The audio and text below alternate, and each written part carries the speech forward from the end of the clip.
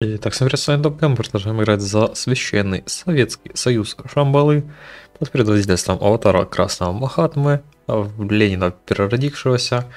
Если вы тут впервые, обязательно подписывайтесь, а мы же продолжаем захватывать а, наш, конечно же, национальный Китай. Поехали.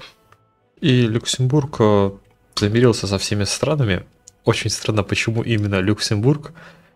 А, Но ну, мы теперь понимаем, кто на самом деле правит этим миром. Да, Люксембург просто взял и замирился со всеми. Как? Я хуй его знает. Ой, мы можем принять национальное лидерство Китая.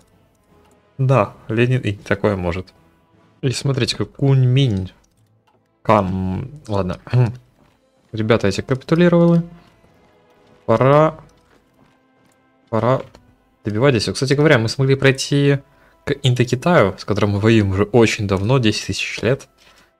И наконец-таки мы с ней встретимся. Они такие, наверное, думали, что, ну, по инжельной не будет, мы просто посидим в войне, нам просто закидывают ленд Тут внезапно появляется Ленин, и он ведет свою армию на Индокитай из Китая. Поистине пугающее, я думаю, зрелище. О, я вот и цинь капнул. Собственно говоря, чего и стоило ожидать. Давайте третью уже агрессивно ставим, чтобы добивали все, что только движется. Что не движется, двигали и добивали. Но и тут останется совсем немного. Надо еще Гуанчжоу капнуть. А, ну ладно, здесь каждая страна это как бы великая держава, так что особо смысла что другое нету. А можем потребовать Фэнтянь подчиниться? Давайте попробуем. Будет очень забавно, если они согласятся. Тут, кстати говоря, уже потери какие-то, наверное, веселые набежали. От нас на, на самом деле не такие большие, хотя относительно. Полмиллиона, я думаю, мы уже так даже, может, 1600-700 мы подсобрали уже, потеряв казуальные 93 тысячи. Ребята уже становятся прям супер ветеранами. Франсийская клика тоже отправляется к остальным и остается совсем чуть-чуть добить. И ребята отказываются. А будет активировано. А все, у нас теперь может... Можем по кнопке просто на них напасть. В принципе, до этого могли. Особо ничего не поменялось, но пускай будет. Немножко нашей армии реорганизуем, чтобы как-то уже поточнее ими действовать. Здесь у нас на севере очень много лишних войск находится. После чего, я думаю, закончим нашу операцию. Получаем, кстати говоря, всю промышленность себе напрямую, в управление, все ресурсы, весь manpower. Кстати, я бы, наверное, уже немножко подзакрыл нашу экономику, потому что, ну, ресурсов у нас очень много, покупать их в данный момент как-то не хотелось бы лишнего. Так что да, бафы, тем более по исследованиям мы уже все, что надо, нам плюс-минус исследовали, бафов уже и так неплохо. И в принципе, смотрите, вот эти войска уже могут начинать наступление. Здесь тоже я не вижу смысла оттягивать, тоже пускай наступают. Перебрасываем еще дополнительно авиацию, где это необходимо. Гуанчжоу капнула, и сейчас капнет, я думаю, и Гаминдань. Sorry, little one, как говорится. Но вы должны пасть, чтобы Ленин возвысился. И сразу за падением Гаминдани падает все здесь. И есть такой классный нюанс, это все наши национальные провинции, поэтому забираем мы все просто супер дешево. И буквально за один ход мы реально забираем все. Вообще все. Ноль шансов у кого-либо забрать у нас хоть какие-то провинции. С такими претензиями, с такими надсправками. Я так понимаю, в Фонтяне, да, только претензии, претензии, а национальные территории очень сильно удешевляют мир. Добьемся вот здесь вот сейчас тоже мира, скажем так, и на Фонтянь. И наши враги готовятся к войне. Да, ну, конечно, они не будут сидеть просто, смотреть, как мы у них все забираем. Они попробуют у нас что-то отбить. Э, мы им ничего не дадим. 60 миллионов же Manpower. Прелесть какая. И я думаю, как раз пора бы нам уже готовить, наверное, дополнительные дивизии. Мы, кстати, еще захватили кучу снаряжения. Плюс мы производим кучу снаряжения. Прелесть. Даже я не знаю, на что уже тратить наши, кстати говоря, заводы военные. На самом деле, мы могли бы уже давно танки делать, но это куча исследований. Я думаю, мы уже закончим все войны и, в принципе, игру без танков как-то. Ну и с поддержкой авиации наша армия здесь просто разрывает до Китая, еще видно. Другого исхода и быть не могло. А мы уже скоро докачаем основные техи, которые дают нам атаку, как раз таки станет вообще шикарно. И смотрите, Кафантянь объявляет нам войну, но мы к этому более чем готовы. И просто сами сейчас переходим в наступление буквально сразу же. Наступление ТЭТ, смотрите-ка, вьетнамцы там что-то нам вредят, но хм, я не думаю, что они способны нам хоть что-то сделать. Деплоим еще побольше авиации, прикрывать вот эти регионы, и чуть-чуть штурмовиков можно отправить тоже на поддержку. И смотрите, тут какие-то гуки поспавнились у нас в тузах. Ну ничего, ничего такого, с чем бы мы не могли справиться, хотя они нам заруинят снабжение, это правда. Достаточно оперативно мы восстанавливаем здесь э, контроль и восстанавливаем сейчас э, ЖД. Чуть-чуть надо подождать, но наши войска очень скоро получат свои патроны. Как говорится, недостатка боеприпасов у нас не будет. Ну, я совсем не смотрел сюда, а тут уже все тоже шикарно. Кстати говоря, это получается защитная война, из-за чего Япония даже ничего и не делает. Как бы мы их даже и не атаковали, честное слово. Как бы я сам не собирался нажать атаку. Япония, вам незачем вмешиваться в этот конфликт. И, кстати говоря, вижу огромное количество войск России. Кстати, вспомни Японию. А вот и она. Ну, не сможет она ничего сделать особо. Как будто лучше было и не вступать в войну. Мы теперь получим еще дополнительные сети территории. Есть только нюанс в виде Сяома, который нам теперь надо тоже завоевать. Ну, как будто что-то плохое. Проблем берем Порт Артур. И, в принципе, в Дянь тоже там пушим. Сейчас, наверное, не будут высаживаться к нам, но удачи. Японцев здесь ждет только боль и страдания. Кстати, смотрите, Османская Федерация смогла победить Иран. И теперь осуждаем, конечно, эту страну. И теперь мы сможем...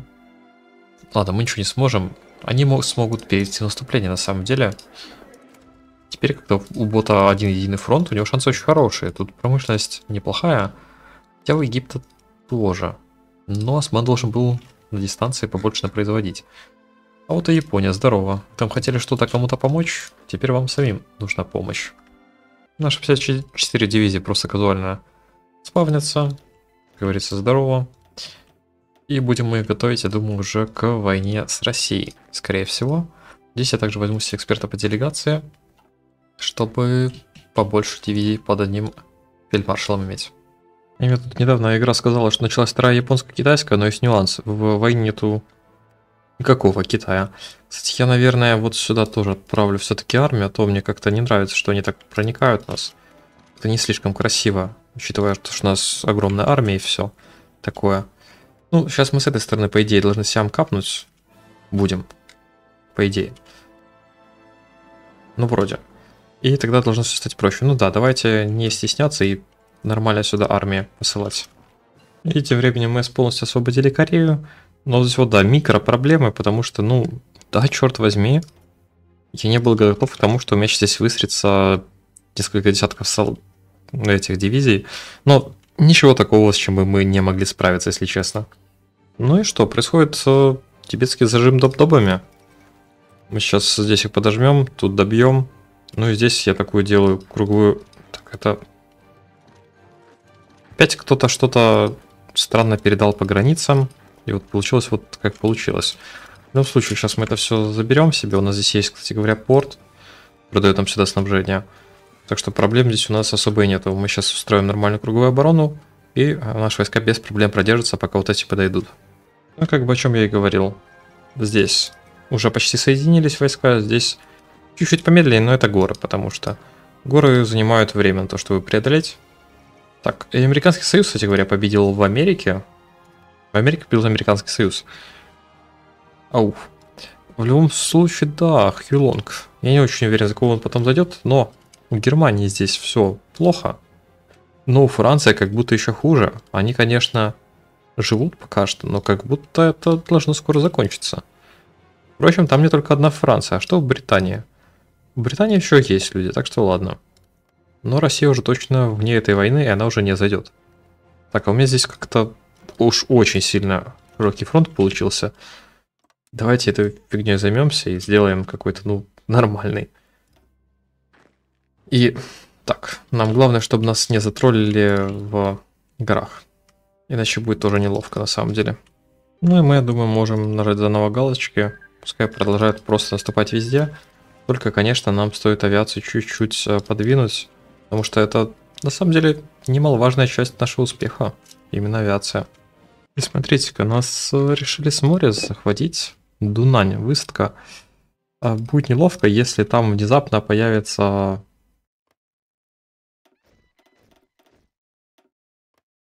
огромная армия, да? Будет очень неловко.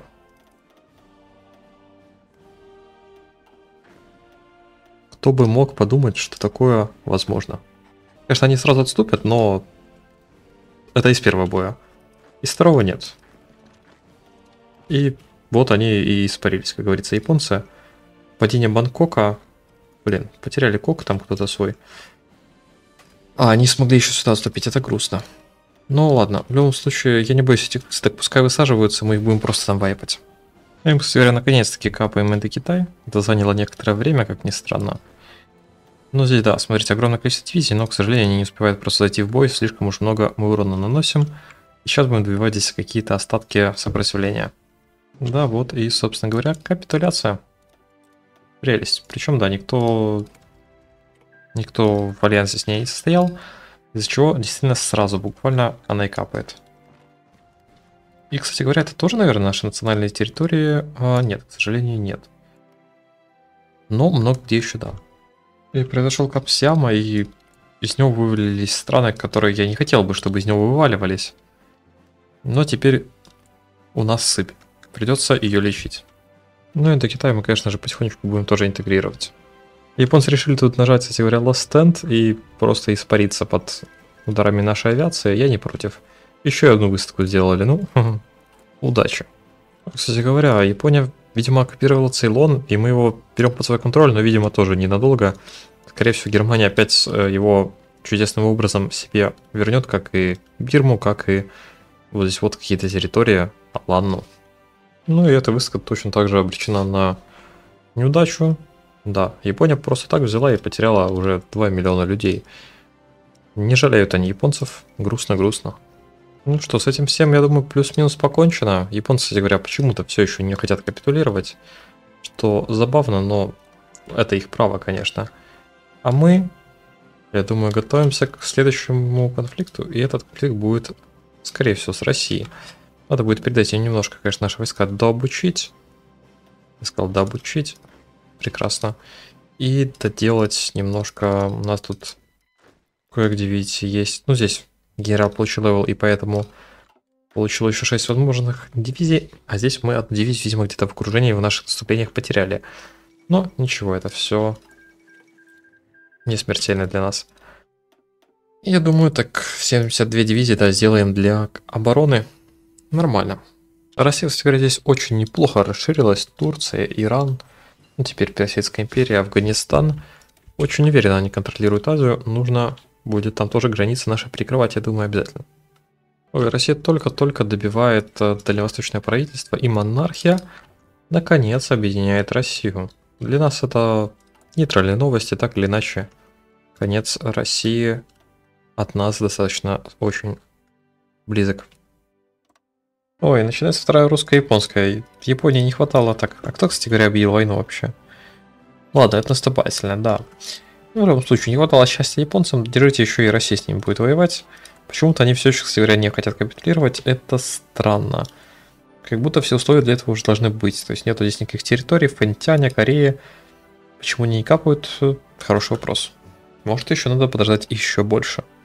А мы же заканчиваем обучать нашу армию, плюс небольшие запасы хотелось бы снаряжения также получить, потому что у нас пока что только наоборот минуса. Я чуть раньше задеплоил наши дивизии, чтобы они успели получить опыт к войне. Остается снаряжение догнать, но это вроде как достаточно просто с нашей промышленностью. Если нам чего-то не хватает, мы просто кидаем миллион заводов. Ну что, там делают, кстати говоря, какой-то голос царя, какие-то, кстати, интересные фокусы, как будто.